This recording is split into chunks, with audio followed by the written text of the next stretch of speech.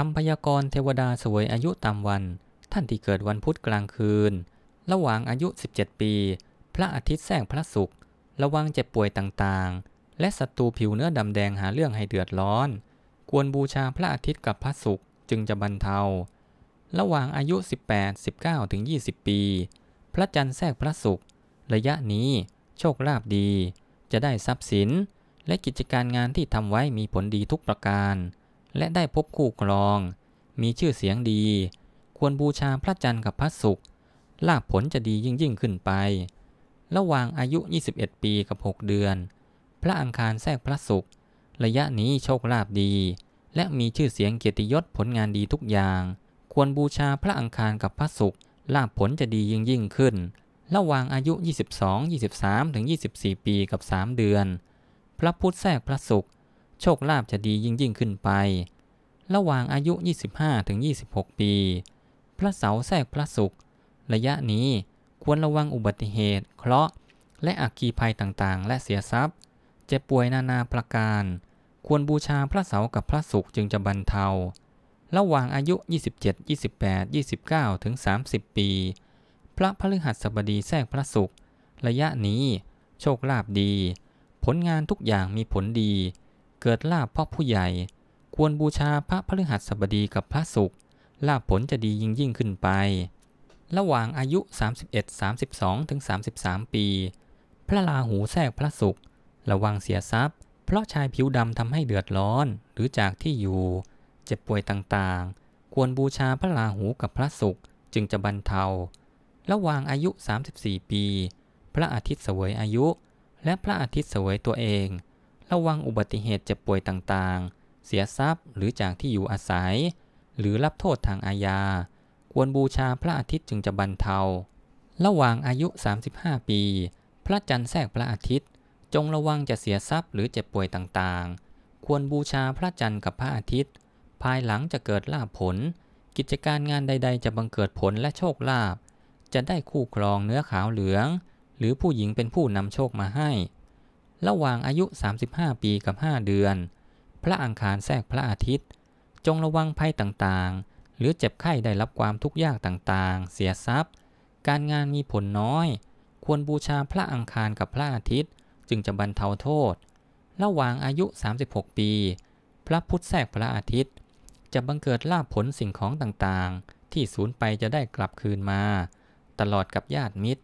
บริวารคอยให้ความช่วยเหลืออยู่เสมอ ควรบูชาพระพุธกับพระอาทิตย์ จะมีโชคดียิ่งยิ่งขึ้นไป ระหว่างอายุ 37 ปี พระพฤหัสบดีแทรกพระอาทิตย์ ระยะนี้โชคลาภดี จะได้บริวารหรือคู่ครองด้วย และทรัพย์สินต่างๆ ควรบูชาพระพฤหัสบดีกับพระอาทิตย์ เหตุการณ์ต่างๆ จะดีขึ้นมาก ระหว่างอายุ 38 ปี พระราหูแทรกพระอาทิตย์ ระยะนี้ระวังจะเสียทรัพย์และเจ็บไข้ อุบัติเหตุเสียเลือดเนื้อ และจะเกิดความกับหมู่ญาติมิตรของตนเอง ควรบูชาพระราหูกับพระอาทิตย์ จึงจะบรรเทาโทษ ระหว่างอายุ 39 ปี พระศุกแทรกพระอาทิตย์ ระยะนี้โชคลาภดี จะได้รับความยกย่องจากผู้ใหญ่และบรรดามิตรสหาย ควรบูชาพระศุกกับพระอาทิตย์ กิจการงานก็จะเจริญก้าวหน้าดี ระหว่างอายุ 40-41 ปี พระจันทร์เสวยอายุ และพระจันทร์เสวยตัวเอง ระยะนี้โชคลาภดี ผลงานต่างๆ ประสบผลดียิ่ง ตลอดกับทั้งที่อยู่อาศัย ควรบูชาพระจันทร์ โชคลาภจะบังเกิดผลดี ระหว่างอายุ 42 ปี พระอังคารแทรกพระจันทร์ ระยะนี้ร้อนใจเสียทรัพย์ คนดูหมิ่นเหยียดหยาม หรือเกิดเจ็บป่วยด้วยของแหลมคม หรือจากญาติมิตร ควรบูชาพระอังคารกับพระจันทร์ เหตุการณ์จะบรรเทาลง ระหว่างอายุ 43-44ปีกับ 4 เดือน พระพุธแทรกพระจันทร์ ระยะนี้โชคลาภมีผลดี กิจการงานทุกอย่างประสบผลดียิ่ง ชื่อเสียงเกียรติยศดี ควรบูชาพระพุธกับพระจันทร์ลาผลจะดีขึ้นมาก ระหว่างอายุ 45-46ปี พระเสาแทรกพระจันทร์ ระวังศัตรูจะเสียทรัพย์ต่างๆ ระวังอัคคีภัย อุบัติเหตุ การเจ็บไข้นานาประการ ระหว่างอายุ 47-48 ปีกับ 7 เดือน พระพฤหัสบดีแทรกพระจันทร์ ระยะนี้โชคลาภน้อย ระวังระหว่างสามีภรรยาจะทะเลาะกัน หรือจากที่อยู่อาศัย หญิงขาวเหลืองจะทำให้เดือดร้อน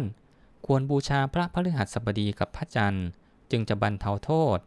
ระหว่างอายุ 49-50 ปี พระราหูแทรกพระจันทร์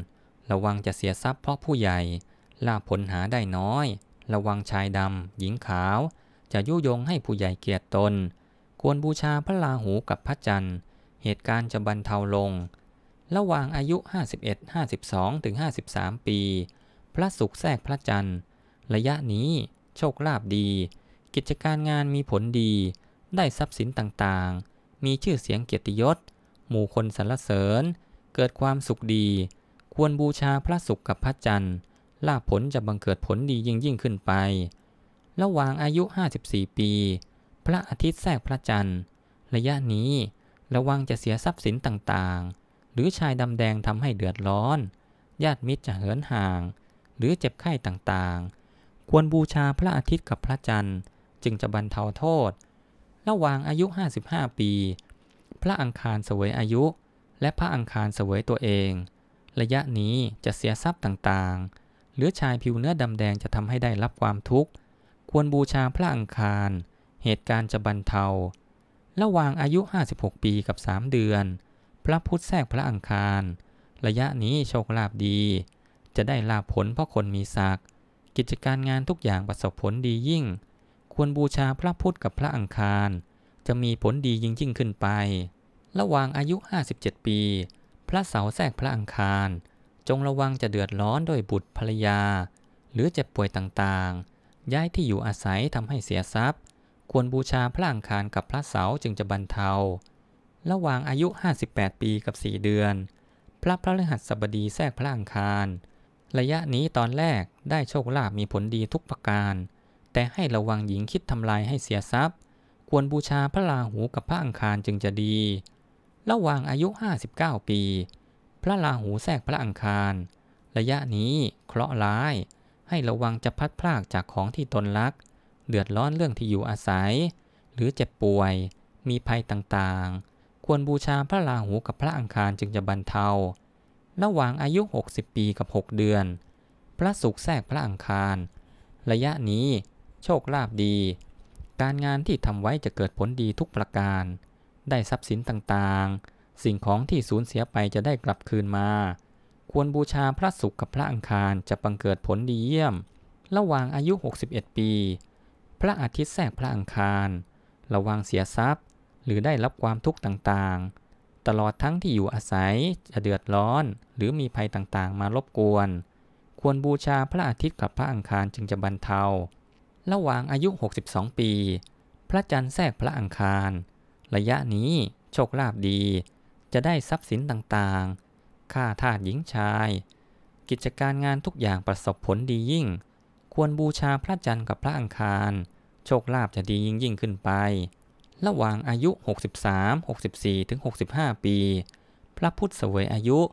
และพระพุทธเสวยตัวเอง ระยะนี้โชคลาภดี กิจการงานที่ทำไว้ส่งผลดียิ่ง จะได้ทรัพย์สินต่างๆ และคู่ครอง สิ่งของสูญไปจะได้กลับคืนมา ควรบูชาพระพุทธ จะเกิดโชคลาภดีเยี่ยม ระหว่างอายุ 66ถึง67 ปี พระเสาแทรกพระพุทธ ระวังจะเสียทรัพย์ ฝูงชนเหยียดหยาม ชายดำเป็นศัตรู ควรบูชาพระเสากับพระพุทธจึงจะบรรเทา ระหว่างอายุ 68 69ถึง70 ปี พระพฤหัสบดีแทรกพระพุทธ ระยะนี้เดินทางไกลไม่ดี เคราะห์ร้าย ถ้าอยู่กับที่จะมีโชคลาภดี และกิจการงานประสบผลดียิ่ง ควรบูชาพระพฤหัสบดีกับพระพุทธจะมีโชคลาภดียิ่ง ระหว่างอายุ 71 ปี พระราหูแทรกพระพุทธระยะนี้จะเสียเงิน ทรัพย์สมบัติต่างๆ จะสิ้นไป เกิดจากการเจ็บป่วย ควรบูชาพระราหูกับพระพุทธจึงจะบรรเทา จบคำพยากรณ์เทวดาเสวยอายุตามวัน ท่านที่เกิดวันพุธกลางคืนไว้แต่เพียงเท่านี้